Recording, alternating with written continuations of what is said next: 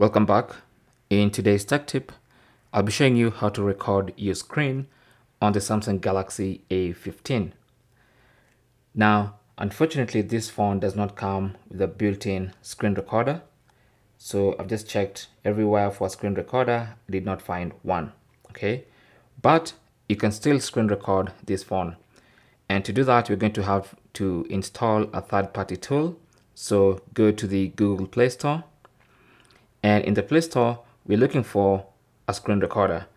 Now, I like to use X Recorder, but of course you can go ahead and install any screen recorder app that you want.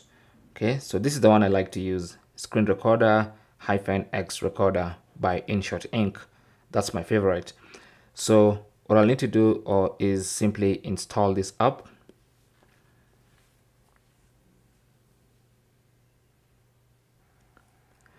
With the app installed, you can either tap on open from here or you can just go to the app screen and you should find the X recorder icon there.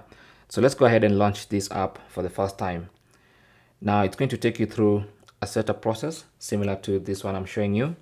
So launch it. So here's the preparation part. So you need to enable the floating icon because there's always going to be a floating icon here that you'll use to control your screen recording. So go ahead and tap on enable floating icon. If you don't want to use the floating icon, you can just choose not this time, but I want to use it. So I'll choose enable floating icon. And you're going to have to allow the floating icon to appear on top. So go to, it's going to bring this menu, go to X recorder and allow it to appear on top. So enable that and then hit the back button that takes you back to X Recorder where you have to allow the app to access photos and videos on this device. And the reason you're doing this is because we have to allow it to save our recordings to the gallery. So tap on allow and then allow X Recorder to send you notifications. Now that depends on you. So you can either allow or don't allow. Personally, I'll choose don't allow. And then we have the open notification panel to strengthen recording stability. Yeah, let's go ahead and enable that. And then hit the back button, basically enabling app notifications for X Recorder. Now that's debatable. I'm just going to disable that for now and then go back to the X Recorder. And we are done, okay? Now this app is free but it's going to be supported by ads okay? Now if you don't want ads you can go ahead and pay for the premium uh, plan. There's a paywall with a premium plan that you can pay for and you'll not see ads. But as far as you're concerned right now this app is ready to be used to record the screen. You can see it floating here. Every time you launch the app is going to be this floating icon here.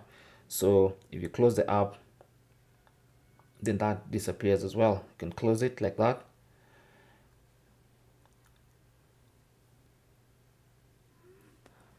So now to record your screen, simply launch the app and it's going to launch like that. The app is normally running in the background once you do that. And now you can start screen recording by tapping on that floating icon and tapping on the record button. If it's the first time, you're going to have to give permission to record audio while using the app and then tap on start now. It's going to give you a three second timer and now it's currently recording whatever we are doing. So we have this screen recording going on. I'll open the Play Store. It's recording my voice as well. Open PDF exit and then I can call on this floating icon anytime to pause the recording to stop the recording if I want to draw things on the recording I can do that but let me stop the recording for now and it's been stopped and the video has been saved. Now, there are two main ways of accessing recorded videos. You can either go to the app and on the app interface, you'll find your recording there.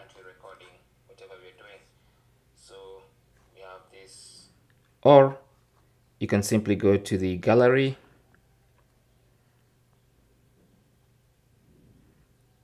And in the gallery you should see a screen recording there.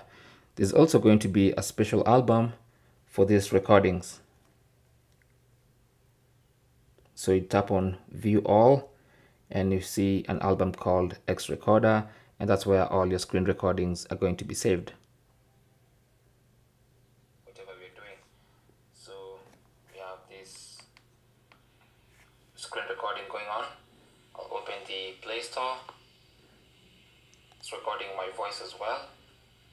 Open PDF so that's basically how to record your screen on the Samsung Galaxy A15 thanks for watching. Comments and questions down below and good luck